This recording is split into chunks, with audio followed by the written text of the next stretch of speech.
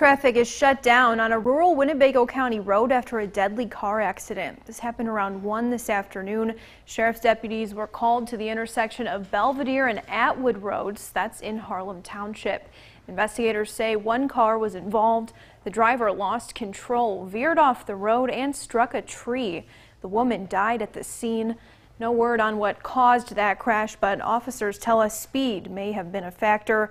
Police say the intersection was closed for several hours this afternoon while they investigated. We've learned a little more about the human remains discovered off a busy Winnebago County highway. Tuesday morning, state police were called to the 251 exit off bypass 20. Investigators say the body was decomposed down to the bones. The coroner says the remains appear to be that of an adult. It's not yet known if that person was a man or a woman. An autopsy will take place before the weekend. Investigators say it will be quite some time before we know an identity. The attorney for the brothers allegedly paid by actor Jussie Smollett to stage a hate crime files a motion to intervene in the actor's case. The siblings previously told investigators Smollett paid them to fake the attack in early 2019.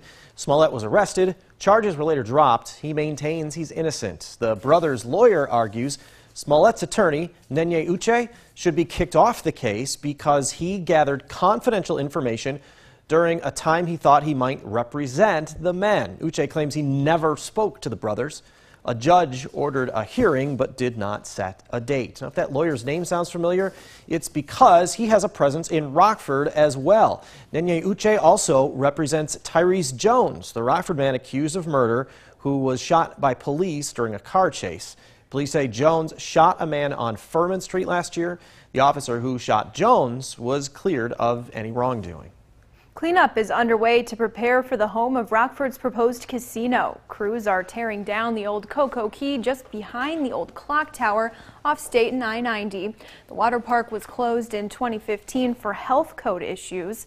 The site, along with the Forest City Tennis Center, which burned down last year, is expected to become the new Hard Rock Casino Rockford.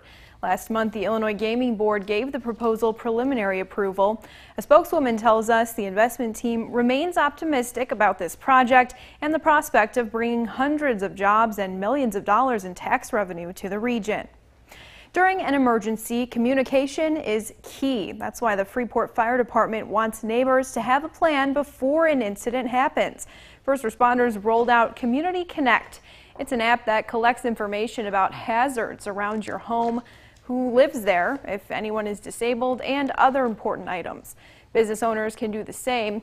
The fire department says that info will be sent to first responders when they're called to your home or business. Fire Chief Brad Liggett says updating that information can save lives. It's important to enter the information, but then also keep it up to date. Uh, if anything changes, if someone moves out of the home, if your hazards in the home change, uh, if you do some remodeling that might be, impact the information that you put into the system, those are all important things to make sure that you keep up on. Find a link to download Community Connect on our website, mystateline.com.